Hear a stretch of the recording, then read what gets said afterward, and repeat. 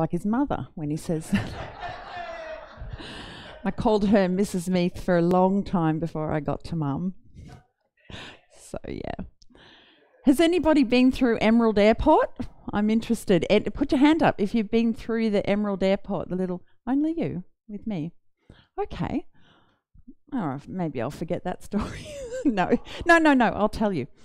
Um, it's it's it's it's a strange feeling because you you go in and you check in, and maybe you've been to another CountryLink airport, so it'll be a similar thing. You go in, you check in.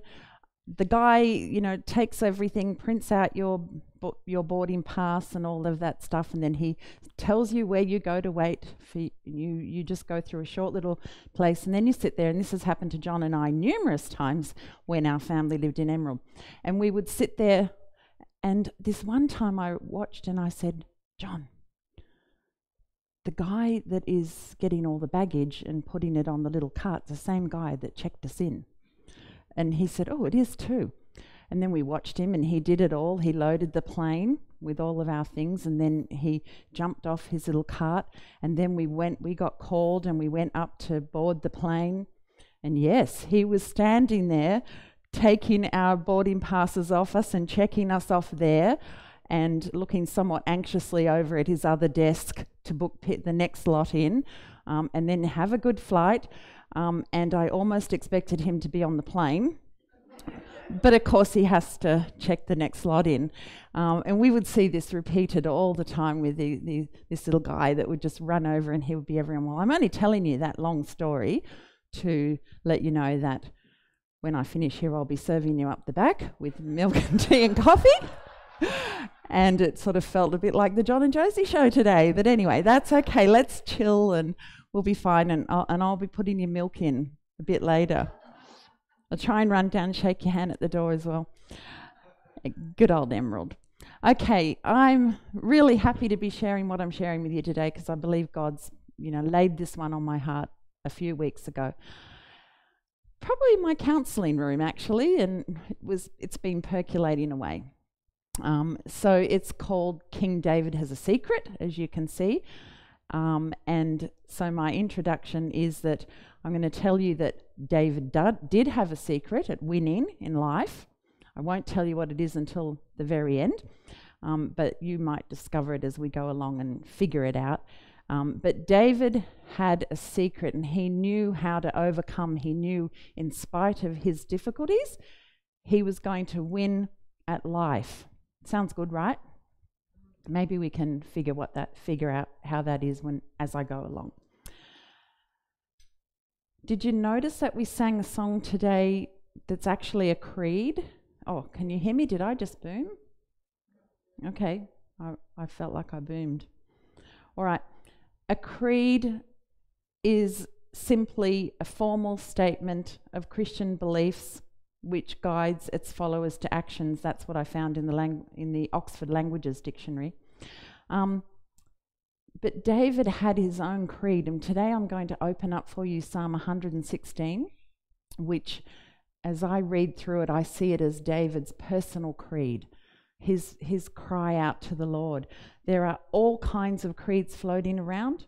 Um, in fact, I think there's about 150. I looked this up too, and there's about 150 different creeds that the Christian church believes in and promotes actively. The most commonly is the Apostles and the Nicene, I would think.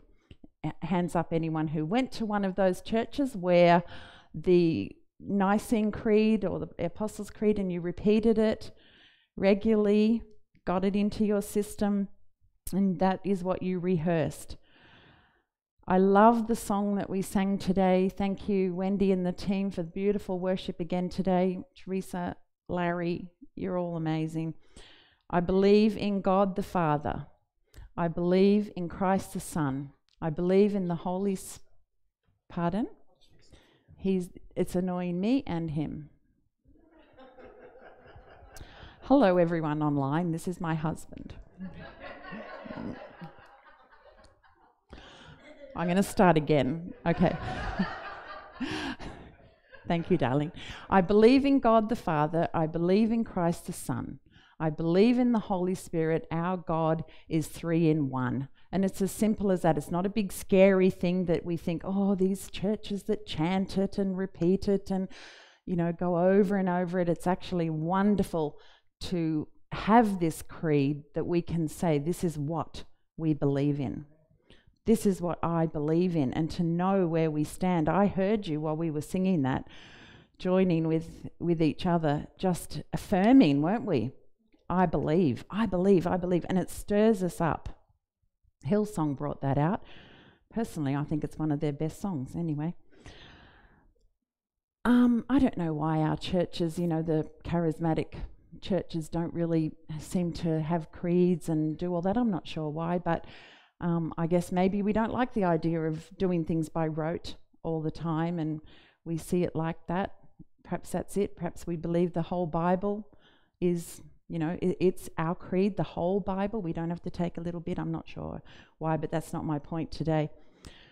We do need to understand that memorizing and repeating these creeds will never save us. They won't ever save us from our sins. That, I think, is the difference. Nothing wrong with doing it, but it won't save us, especially not if that's where our hope is in that. Our hope is in Jesus Christ.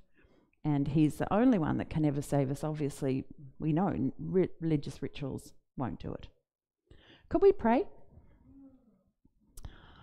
Lord Jesus, I, I thank you, Lord, that, that we can make a statement of faith, a strong summary of our principles of faith back to you, Lord, our, our what we believe in, Lord. And I just ask that as I open up your word today and we take a peek into King David's life, Lord, that we'll be able to find your grace amongst this, Lord, and to just hear what it is that you want to hear, Lord. I pray that I would be able to preach and teach this word faithfully, Lord, with your anointing um, on it, Lord, so that we can understand and, and uh, we can just learn more about you again today and what you've done in our lives.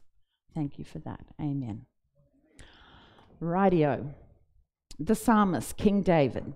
He believes very firmly in making statements of his faith, not ever in rituals where you know he would he would he he thought his salvation in God had to be in that. I don't see that, but certainly if you read the Psalms, you will see that David makes these statements of faith. It's like he's speaking to his own soul, isn't it? And he's just over and over and over again pouring out his belief system back to God. Maybe reminding himself what he believes in because he had a lot of troubles. We'll see soon, many of them he brought on himself, but anyway, he had a lot of troubles. The psalm I want to examine today, which to me, um, well, actually, theologians have called this David's Creed, and it's Psalm 116, one of my favorites. We'll wait till that. There we go. It's in the Passion Translation there for you today. So if you're not reading with the Passion version, feel free to look up at your screen. I'll, it, it will take a few minutes, so let me just read it to you. I am passionately in love with God because He listens to me. He hears my prayers and He answers them. As long as I live, I will keep praying to him, for he stoops down to listen to my heart's cry. Death stares me in the face, and I am close to slipping into dark shadows. I am terrified. I am overcome with sorrow. I cried out to the Lord, God, come and save me. He was so kind, so gracious to me. Because of his passion towards me, he made everything right and he restored me. So I've learned from my experience that God protects the childlike and the humble ones. For I am broken and brought low. But he answered me and he came to my rescue. Now I can say to myself and to all, relax and rest, be confident and serene, for the Lord rewards fully those who simply trust in him. God has rescued my soul from death's fear and dried my eyes of many tears.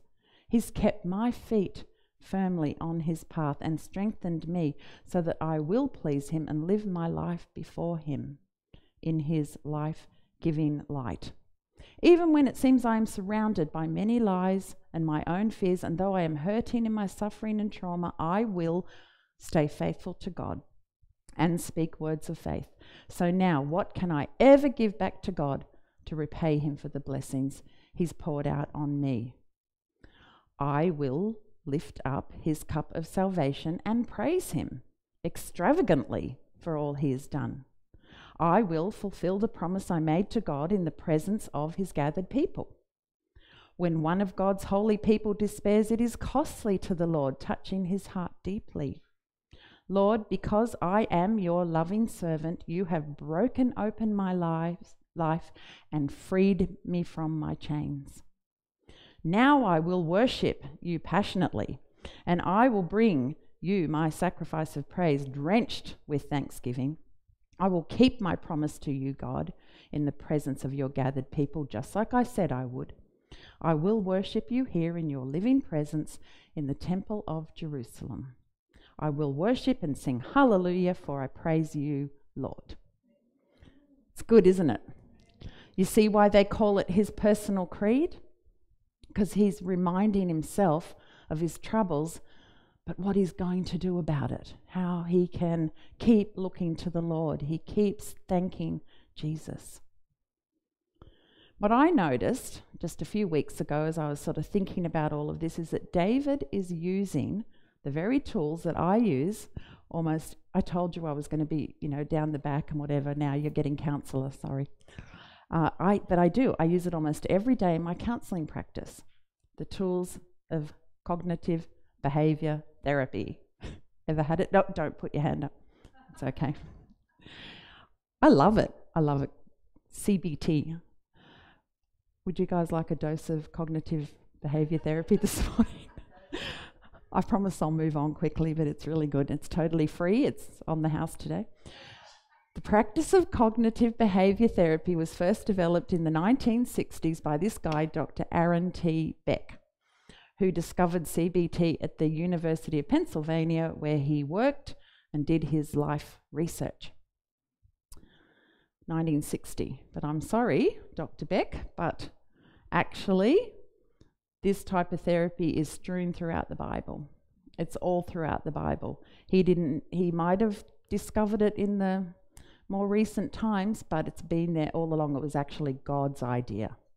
It was God's idea, and I'm going to show you how David figured that out. The Bible, the Old Testament, the New Testament, inspired by God's own words to us, tells us that no, it wasn't the 1960s, it is thousands of years old, and it works. Cognitive behavior therapy is based on the belief that what we think in our thoughts, how we process our thoughts, will outwork in our behavior. It's very simple in a little nutshell.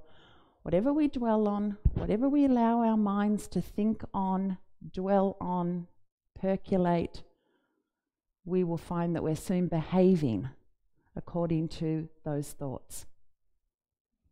Sound familiar to you? Yeah, and you only have to read the Bible, don't you, to find out that there's scriptures littered. I found a few for you today, but the Bible is full of scriptures about our mind and how we should be getting control of that because we will act out what we think. Uh, let's take a look at Romans 12:2. Do not conform to the pattern of this world, but be transformed by the renewing of your mind Philippians 4:8. Finally, brothers and sisters, whatever is true, whatever is noble, whatever is right, whatever is pure, whatever is lovely, whatever is admirable, if anything is excellent or praiseworthy, think about those things. Why? Because our behavior will reflect. Romans 7:23. But there is something else deep within me, Paul said, in my lower nature that it is, is at war with my mind.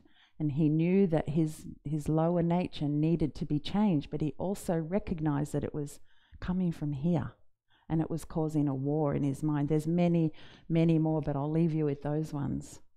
Don't you love Teresa's slides? They're awesome. That's a brain. I love it. Took me a minute to work that out, but anyway. Okay, in this psalm, you will notice that David is not afraid to admit the depths of despair that he encountered, physically and spiritually. But what did he do? He gave himself the permission to face his truths, to accept what he was going through. His, it, it was his reality. And he knew that he needed to face that and he needed to know his reality. He gave himself permission. Just in cognitive behavior, he gave himself permission, but he knew he must not get stuck there. That's the whole thinking behind it is yes, realize what's going on, but don't wallow. Don't give yourself permission to stay in that place. You have to move on.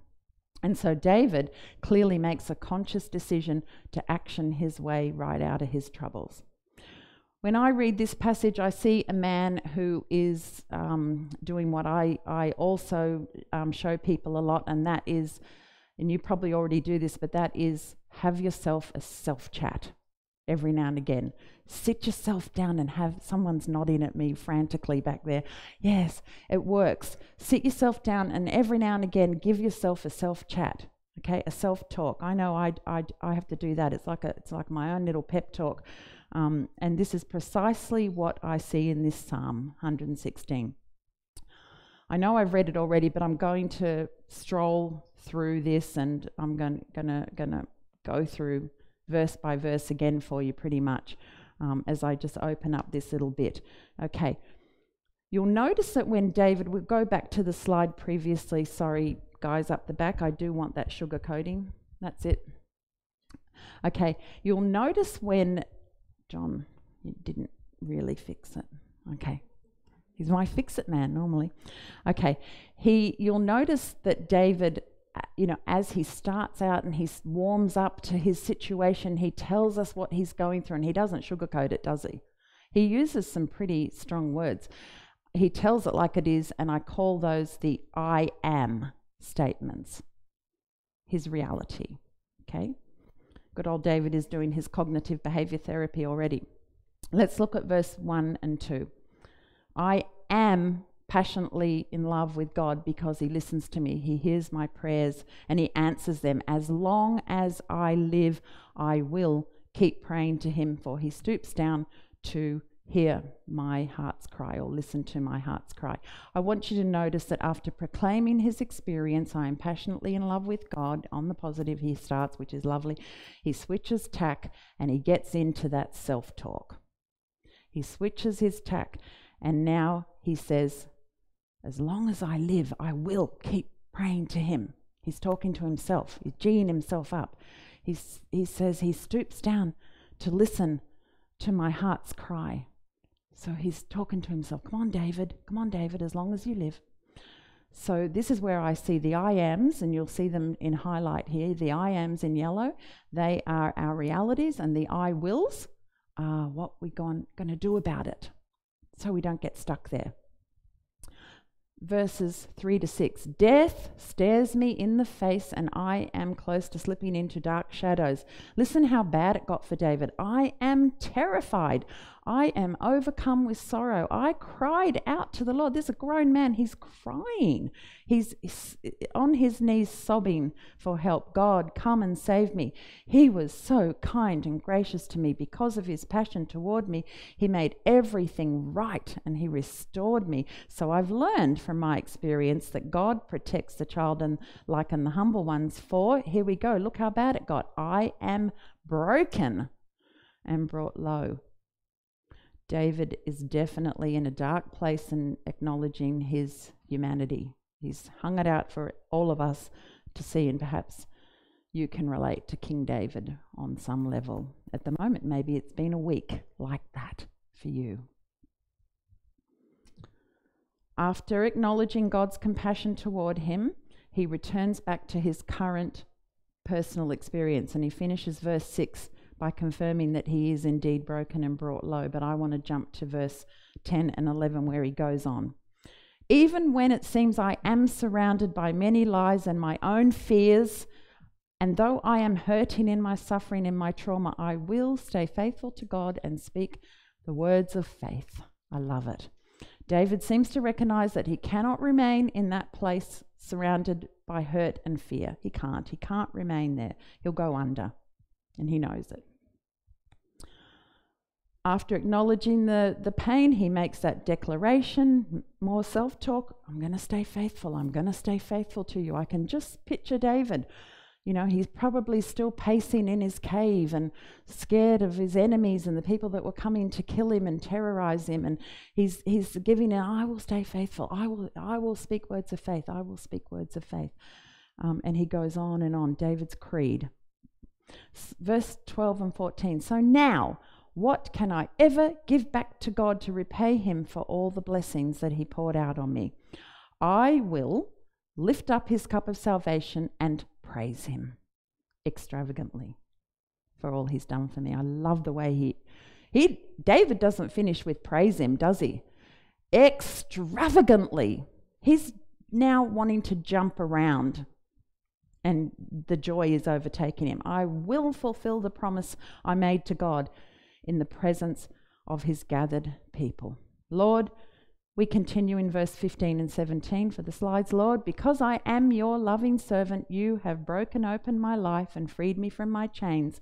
I will worship you passionately. First, he's extravagant, now he's passionate, and I will bring you my sacrifice of praise drenched with thanksgiving. I love the language. Can you see what's happened here? David's frame of mind has shifted.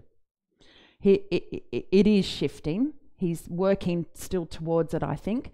Um, and actually, in my industry, we'll call that reframing.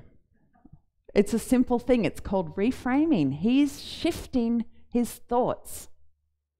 He's not dwelling on the change. Did you notice the way that is worded? He doesn't dwell on his chains. He doesn't come out going, "Oh, I'm I'm I'm totally bound in chains. I'm locked in chains." He doesn't he doesn't do that. He he says this. He says, "You have broken open my life and freed me from my chains." He put a different slant on it. He didn't even say, "Oh Lord, come and break open the chains." He said, "You have freed me from my chains," which is looking at it again on the the thankful side of it. He's acknowledging those positive I ams. I am your loving servant. I am your loving servant. He's getting more and more excited, isn't he? And more and more passionate about God, the God of healing, the God of power, the God that breaks every chain. Could have sang that today too, but you know, we d- we'll do that another day. okay. Verse 18 and 19. I will keep my promise to you, God, in the presence of your gathered people, just like I said I would. I will worship you here in your living presence in the temple of Jerusalem. I will worship and sing hallelujah, for I praise you, Lord. He's now singing. This guy can't be stopped. I'm now picturing David. He's out of that cave. He can't be in there anymore. He's now on the mountain wherever that is, out in the open, where his enemies could maybe come and see him. If you've read David's stories, that was his life. He was a guy who fled to the hills regularly because they would have killed him otherwise. So he hid and and but no, he's out, he's out, he's jumping around, he's got joy. He said, I will I will worship and sing hallelujah. And I believe he probably did. Burst into song to Jesus. More of that good singing self-talk, reminding him how he also promised God. I love that bit actually. I love the way that um, you notice, you know, he he he turns it around and he says, "You promised me things, but I also promised you things, God." He says, "I did in front of all the gathered people." That was when he's going back to when he was anointed by Samuel, and Samuel anointed him, and at, at we'll, we'll hear in a minute about how what, what God said at that time to King David as he became king. But he is going back and reflecting, you know what, everything I said in front of all those people, I still mean today, and I'm going to keep that promise. I'm not going under. That's what he said. I'm also a promise keeper, he said. I just love it. I think this guy has had an amazing change of thinking, just did it himself, just did his self talk along with the Lord's Holy Spirit anointing him. He starts changing his thoughts. King Solomon wrote this Proverbs 23 7. As a man thinks in his heart, so he is. Another one of those scriptures that says, As we think, so we will be. And who was King Solomon's father? David, thank you. The son has learnt, hasn't he? King Solomon has learnt this wonderful truth from his daddy, David. Solomon would have watched his father, I believe, turn many a dark situation and a dark thought into an opportunity to trust and to walk even closer with God. Was David perfect? No, he definitely wasn't. Who was King Solomon's mother? Bathsheba. Bathsheba, okay? Bathsheba, she was the woman that David would have an affair with. Not just an affair, he coveted her so much he wanted her for himself and he was determined to get her. And he didn't want everyone to know the sneaky, terrible, evil way that he went about it. But he, he coveted her until he got what he wanted, which we all know is a, a dreadful sin, even just the coveting. He sent her, her husband, Uriah, out to the front lines of battle because he was a soldier, and he knew that Uriah would get killed out there because all the men in the front lines were getting mown down. So only the very bravest of the brave would go out in those front lines. They would do it because they knew they had to lay their life down. But David organized for Uriah to be in the front line. That's how sneaky he was, how much he wanted Bathsheba. His plan worked, and Uriah was killed, and he snatches up Bathsheba and she becomes his wife and he doesn't even have to explain the adultery and everything that was going on. It just stayed very hidden.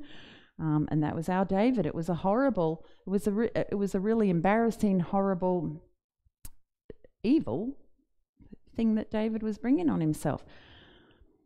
But the contradiction have you ever thought about it? I'm sure you have is god saying this is a man after my own heart that's what was said, spoken over him when he was anointed by King Samuel. God said, This man shall be king, for he is a man after my own heart. God knew David and, and, and his heart. The incident with Bathsheba, by the way, was just one of a string of things. You, you, you can go and take a look at the long list of sins that David committed. I don't want anyone opening up my book and taking a long look at mine, but we have got the Bible so where we can see into David's life. He did, he did some amazing things. He not, did, not only did he um, commit adultery, he lied to a priest. That's terrible, isn't it? But he lied to a priest. He faked insanity at one point, and he fought as a mercenary for the Israelite army. He was really bad guy. It's really strange, but I came across a commentary that said that during the time that David was fighting uh, as a mercenary for the for the Israelite army, he didn't write any psalms. There was not a period of his life where he wrote psalms. I found that really interesting. Perhaps joy and faith sort of dried up a little bit in the midst of that. David also failed as a father, actually, even though Solomon seems to have, have found some good in his dad and has learnt wisdom. He failed as a father. He, he, he failed to correct his, his son um, when he had uh, when he did he violated his stepsister. I don't know if you remember that one as well. That was horrific. Um, so he should, I suppose, he should have disciplined him and called him out on that and stood up for that woman his, you know, his stepdaughter. But eh, no, David did nothing about that. And the list actually goes on and on. David's son could have been the shameful son, the forgotten son, the awkward son, the embarrassing son, the son who came out of cheating, adultery, lies, and murder. But no, he became the great King Solomon. Isn't that amazing? Oh, that gives me chills. It's, I think it's just God, you know, God's grace, God's grace to this family. He becomes the great King Solomon. And I think David was called a man after God's own heart because of the secret. that David found that I talked to you about in the beginning, the secret that he knew. He knew it, and he knew that he knew that he knew was his creed, and he lived by his creed. He lived by it. This was the secret. Let's go to it. David understood that it was important to acknowledge that when things get tough, when we mess up, when we sin, we let God down and others down to repent. Repent at that sin. And when our mind is overwhelming us with fear and doubts, we turn it back over to God. The secret is to joyfully go forward, singing your own creed, just singing out your promises to the Lord. Time and time we fail Him. I, I know I do. Time and time. And time and time again, we remind ourselves God is faithful. God is faithful. When we sin, we often want to run away from God. We start doing things like skipping church, like hanging out with a different crowd, um, like questioning our, our very faith. That's what we tend to do as humans. We run from Him. But David knew the secret. Deep in his heart, despite everything going on around him, despite knowing that he was far from perfect, he kept pursuing the only one who is. Right? Let's pray. Jesus, I thank you for David and the life of David and for the lessons that we learn from him, even in this psalm, Lord. And I just ask you, God, that you would teach each one of us how to pursue you, Lord, to know that you are the one, the perfect one that we can run after. We can run after you, Lord. Teach us how to do that. And I, I pray, Lord, for each one of us here today as we go into our week that you would bless and provide for each one as they need it, Lord. And, and as you, you provide for them, Lord, may they go out and bless others. In Jesus' name, amen. Thank you. Thank you. Please don't forget to go. I'm going to repeat um, John's creed, mantra, whatever. Please don't forget to go and say hello to someone that you don't know. If you've spotted someone that's come and you've had them on your mind during the week, go and find them, give them that encouragement. Thank you.